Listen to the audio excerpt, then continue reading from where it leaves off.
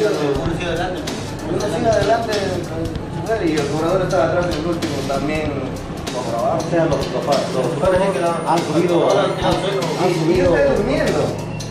El cobrador le da para para cobrar Yo soy uno de los pasajeros agraviados de, del Dorado que hemos venido de, de Trujillo por altura de la soledad, este, seis este, perso- eh, personas, tres- seis asaltantes eh, han subido a la unidad y nos han quitado las pertenencias, nos han quitado el dinero eh, a todos los pasajeros y aquí estamos nosotros poniendo la denuncia pues en la comisaría de Chicama. Primero lo han combinado al, al chofer y al cobrador y luego este, han ingresado ya a la parte de los asientos para quitarnos nuestras pertenencias. A mí personalmente me llevan 50 soles y me llevan un celular.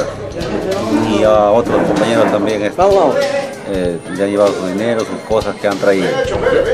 Carro en marcha, han hecho todo eso de atropello y luego por una chancadora que queda de la soledad más acá, se han bajado ya llevando todo el botín. Lo que, yo quiero agregar a, esto, este amigo, eh, es, como yo le he dicho al mayor, acabo de decirle al mayor, esto se da debido a la informalidad de, de esas empresas que transportan pasajeros eh, interprovinciales. ¿A qué me refiero?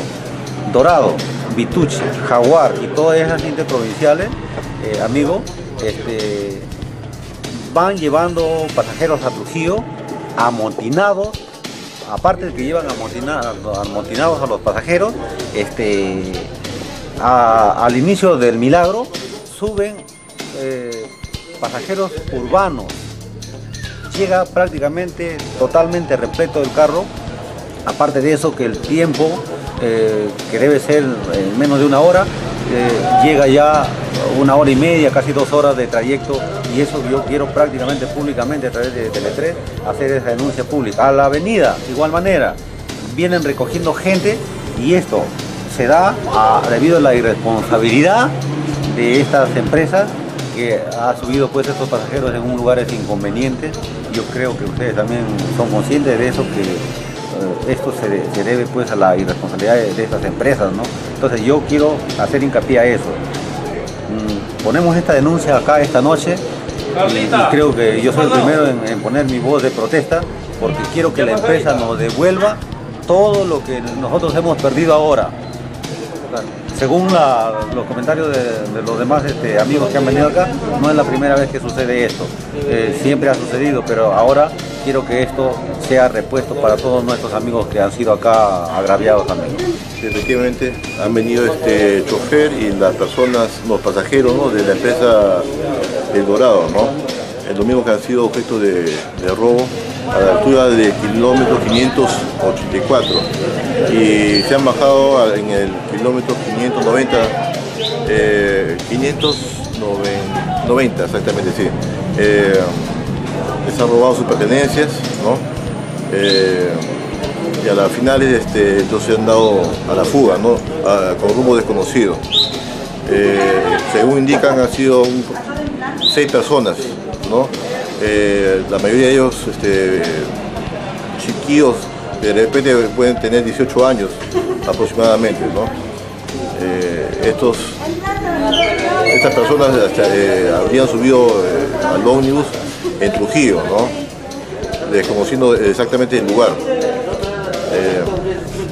Ahorita nosotros estamos tomando todos los datos de los pasajeros, se han levantado este, las respectivas actas y vamos a pasarlo a la, a la comisaría de El Milagro por ser jurisdicción de ellos. Así es. Ah, Yo he sido el blanco porque a mí me robaron el celular nuevo que tenía y medicinas de gallo, mi billetera con el dinero. O sea, no me han dejado nada.